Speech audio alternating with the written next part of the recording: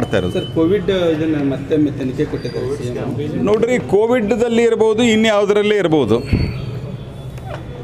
ನಾನು ಹಿಂದ್ ಮೊದಲು ಹೇಳಿದ್ದೀನಿ ನೀವು ಒಂದೂವರೆ ವರ್ಷ ಆಯ್ತು ನೀವು ಬಂದು.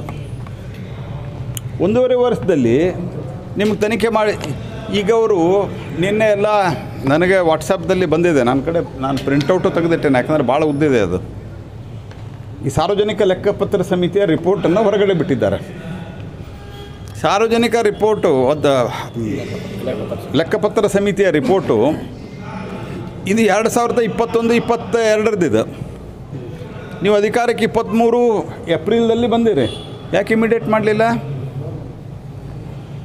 ಅಂದ್ರೆ ನೀವು ಕಳ್ಳತನ ಮಾಡಿದಾಗ ನಿಮ್ಮನ್ನು ಹಿಡಿದ ಮೇಲೆ ಇನ್ನೊಬ್ಬರು ಕಳ್ಳತನ ಮಾಡ್ಯಾರ ಅಂತ ತೋರಿಸಿ ನೀವು ಬಚಾವಾಗುವ ಪ್ರಯತ್ನನ ಇದು.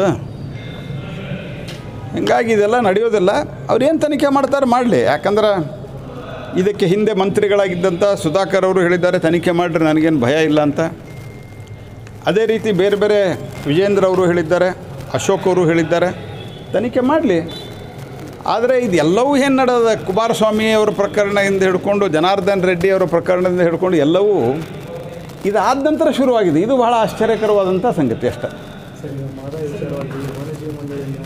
మహదా ఈ